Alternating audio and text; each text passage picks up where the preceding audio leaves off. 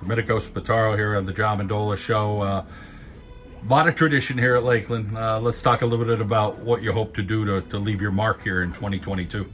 Well, um, when I sort of came up as a freshman, that's when Coach P like took over as coach, and the tradition of Lakeland really like running the ball sort of changed a little bit. Like we still run the ball, but we're um, definitely more pass heavy team now.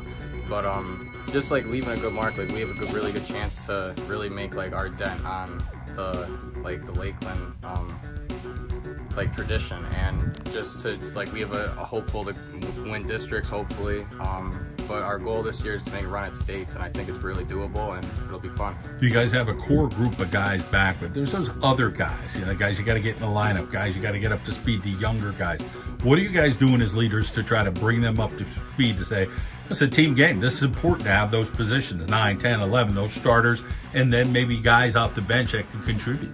Um, definitely. We have um, a lot of kids that played like bits and pieces last year, and um, but are definitely filling a big role this year because um, we graduated a couple kids. We have definitely a lot of kids coming back that already like kind of had roles, but these new kids like come in and have played previously.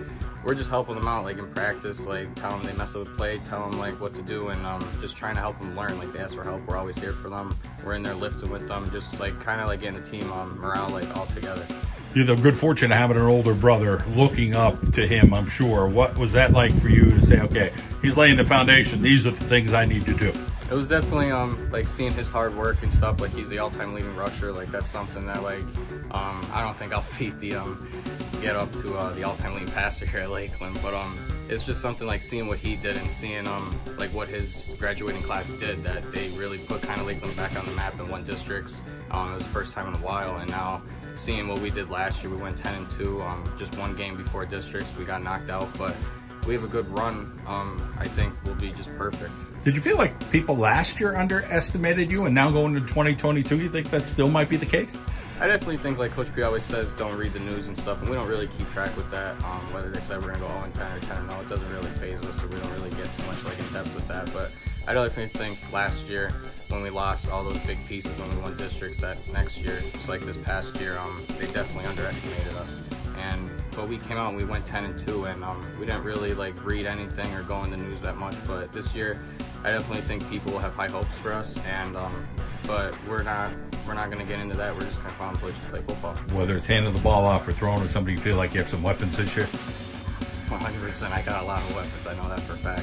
Let's talk about the speed, but then there's power. It's it's the perfect combination for the game of football. You guys have both. Yeah, um, we got a big tight end. He's a uh, real strong, good run blocking. Can put the ball anywhere, and he'll, you have a really good chance of him going up and getting it. We got a lot of speed. Um, a state uh, medalist in the hundred. Um, and then Kevin, I think he's the best route runner in the league, um, easily. But um, just a lot of kids, new kids coming up like Riley Ravinsky. Um, didn't really play a ton last year, played bits and pieces, like, um, but he'll come around and he's getting it. But just everything, like my running back Evan Poaches, he played a, running back a little bit last year.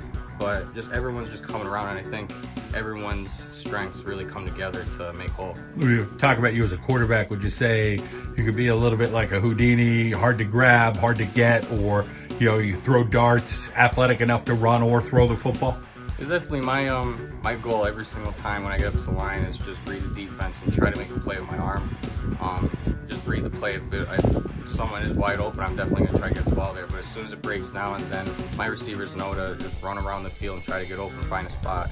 And we did a really good job with that last year and just scrambling my whole line um, does a really good job. As soon as they see me start going, they start like shifting and like fade into spots too. So it's just really good chemistry that we all have. Let's talk about the weight room. All you guys look like you're pretty fit. How hard have you guys been grinding? Yeah, we've been um, well, we've been going since July 5th, but there's a countless number of guys that have been lifting all throughout the off season. So um, we definitely know that's a big step, especially if we want to make a run at the state level. That you're going to meet teams that aren't just kind of like from around here; that they're like the real deal. So um, we know that, but we're coming ready. Great to catch up. You have a great season. Thank you.